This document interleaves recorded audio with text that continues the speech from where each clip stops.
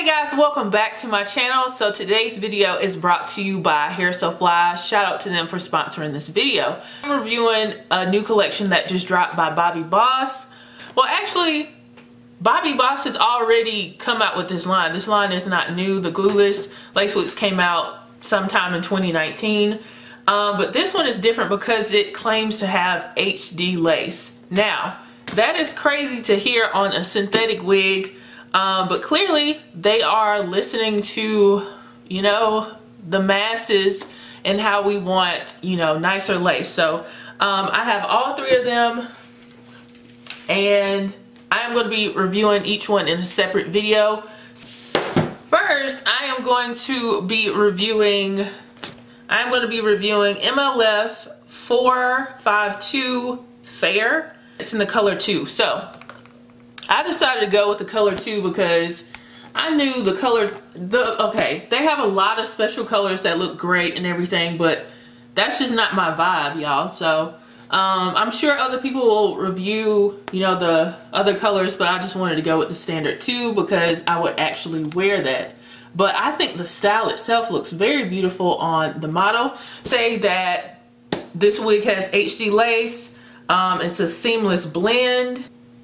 It says pigment responsive blending lace. I don't know what that means, but okay. Um, you can wear it on the as a center part or on the side. It does come with baby hairs, but I'm going to assume the baby hairs are going to look crazy because usually synthetic companies don't get baby hairs right. Um, but we'll see. This is heat safe. It has a pre-plucked hairline, so the density is lighter in the front and then it gets thicker in the back. Um, it has extended lace for more styling and freedom. All right, so let's check this out. Let's check out Miss Fayre. Now, when I saw it was HD lace, I was intrigued, but also I know sometimes companies come out with stuff and it's kind of gimmicky. So I'm hoping it's not gimmicky because it looks very nice on the model. So they packaged this very nice Alright, so here is the wig here. I can go ahead and tell you guys this HD lace looks pretty light. So if you, it looks pretty light. So we'll see once I try it on, but I think, hmm, this might be, this might be too light for a lot of people. I'm just looking at it. So here's the hairline here. It is pre-plucked as you can see. That looks very, very good. Those baby hairs are bang-like, but they're not as bad as some of the ones I've seen. Inside of the cap, this does remind me of a human hair wig. So this is the extended lace here for more options of parting. It has a mesh back and you actually get a, you get an adjustable elastic band here as well as a comb in the back and adjustable straps. You do have combs right here where the mesh is as well, two on each, uh, one on each side. The cap feels um, pretty, I'm trying to give y'all an accurate, it feels like a medium cap. I don't feel like I have an excessive amount of space in the cap, so I'm gonna say it's a medium. So this is the length on Fayre. This appears on me to be about 16 inches or so, maybe. Yeah, 16 inches. I'm six feet tall. I do have a longer neck. This is what we got going on. Like a medium density. It's not like too full. A nice everyday length. And then this is um the curl pattern is like barrel curls that have been brushed out. Kind of reminds me of Ramona from Outre. I think that was by Outre. So this is what we got going on. Let's zoom in. This is what the lace is looking like. So I'm going to cut the lace and hopefully I can wear this glueless because I, if y'all don't know, I don't like having to glue my stuff down every time. So, all right, so I cut the lace off. I cut the lace off and then I wanted to stop and show you guys what it looks like, the lace itself. So as you can see, this HD lace is very, very light. So if you are, if you have a darker complexion, you're gonna have to tint your lace, put some kind of powder on it, spray your aerosol tint spray. I might do that. I might. Um, but this is a little bit dark, but this is so light of a cap, it might just work. Um, I think I might put, I think I'm gonna do the aerosol inside the cap, but along the hairline, I might just stick to powder because I've had this happen with Chiari where I would think I need like a super dark powder to combat how light the lace is, but when I went outside with Chiari, it was looking super like unnatural. But I will say the way that this lace feels, it does feel like it's thinner. So we might not have as many issues with the lace being so obvious because it's, you know, thinner. But I did want to tell you guys, it is lighter, lighter lace. So I am going to spray the Ebin New York Lace Tint Spray. Um, I heard about this from Natural Joy. I have it in light warm brown. Um, if you are my complexion, this is still a little bit um, too dark but as I said this this um lace on this is super duper light so I'm just gonna spray it on there. You can you can use the Sally Hansen spray tan but it just has shimmer in it um and sometimes that just I don't really care how that is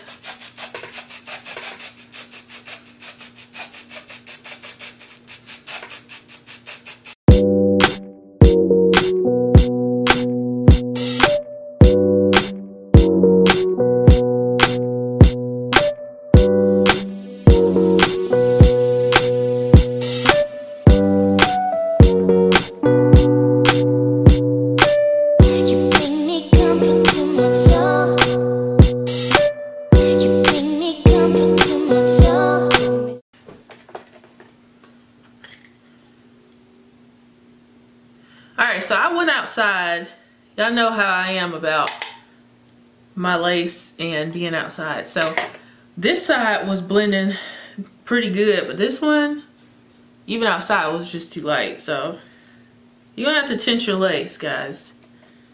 For real. just had a, that white line all right guys i'm back so what is the tea on miss Fayre from Bobbi boss so i cut the lace and i was like uh this lace is so light. But i was not um super upset because i've had the opposite issue with Bobbi boss as well from what collection is that? The collection by Bobbi boss where it has the natural straight 26 I the issue with that wig is the lace is too dark for me, but it's gonna work for a lot of people. Lace is just gonna be different and work differently for different skin tones. So um, that's just something we gotta get used to unless, you know, synthetic companies start to offer different, you know, lace colors for us. But I don't know when they're gonna do that. But I never thought I would see HD lace from a synthetic from a synthetic wig. So you know, we never know what these companies are gonna do. So uh, with Fayre, the lace is like transparent lace, but actually it's just really, really light. It's like white lace. So for super fair skinned people, this lace is gonna work for you. But for um, people who have darker complexions, my skin and darker, you're gonna have to manipulate your lace to make it work, just like with the What Lace collection and you know, other collections like that. So you have you have a lot of options because a lot of ladies have had to tweak their lace and stuff. You can use lace tint spray. For me, the lace tint spray requires so much spray. Like you have to keep spraying it to actually get a color payoff. So I don't really like that anymore. Um, this aerosol spray actually does deposit color really well, but I wanted to make sure I didn't go too dark, so I didn't put mine on my hairline. Now with the other two that I'm gonna review, I think I might just put a little bit of spray towards the hairline to see if that will help with blending.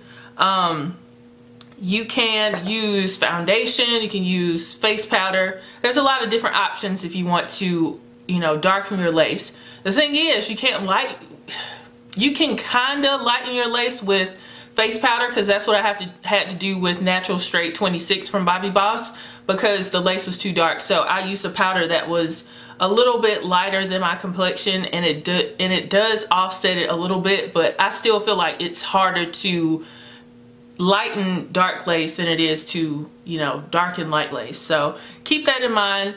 Um, lace is super light. So it does lay really flat on your head.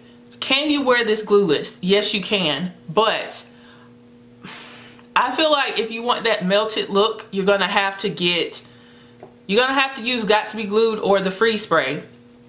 Now that might not be the case for other people when they try this wig, but for me it was. Um, one con that I had with this wig was the baby hairs. It's a preference thing, but the baby hairs were not working for me, so I just wanted to blend it into the hair and I don't always want to rely on baby hairs to make my my hairlines look natural. So I went outside first time. This side of my hairline looks super natural. Like it was actually like melting, looking very good for a synthetic, you know, HD lace synthetic wig. But this side was still crusty looking, not crusty, but it was just white. It just looked white. So I came back inside and with my powders, I had to use two different powders okay? So if you're going the powder route you're gonna have to like probably mix different powders. So this powder here is the black Radiance soft focus powder in golden almond finish. And I'll have these in a description box just in case you're using me as a reference.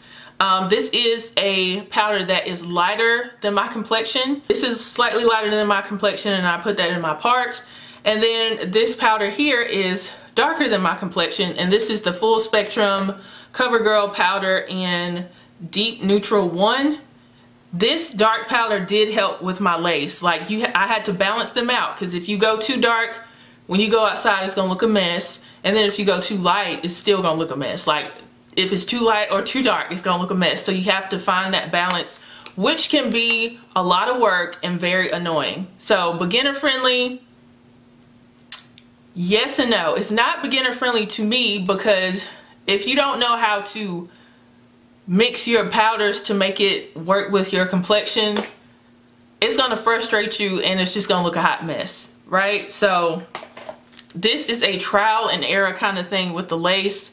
And that's the biggest thing about the wig is the HD lace. That's the biggest feature. Yes, the HD lace actually is thin and it does melt quite beautifully. Um, once you spray it down.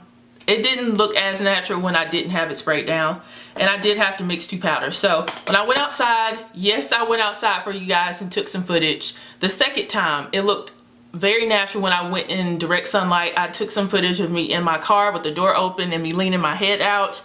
And then I took some pictures of me in the natural light. And it's very sunny today. It's very sunny today and I was looking in the car window and everything. The On a scale of 1 to 10 of how natural this looks outside, I'm going to say it's an 8, which is very good to me. Um, you can still see a little bit of lace, but it's not to the point to where you're going to be embarrassed. Um, and people are probably, if somebody is probably right here in your space, in your bubble, they're probably going to see your lace a little bit, like the grids. But as far as like if they're a little bit further back, they probably won't see it. But I think this looks pretty, pretty good, y'all. And this is a pretty accurate read of what the lace looks like. It's not perfect, still HD lace from a synthetic wig, so it's not perfect, but I think they did a pretty good job. Um, and I want to give you guys, I'm trying to give you guys as much information as I can because I know how it is to wear a wig outside or to work or something and then your lace looks bad and you're paranoid all day. Those, um, I think this style is pretty limp. It's kind of like, it's kind of limp. it's not bad. It's a very basic style, but it's just, you know, it's nothing to write home about. Just a basic style. So the lace looks pretty good, but you know, basic styles are cute, but I'm just saying, it's not something I'm going crazy over. Show you guys what this looks like as a side part.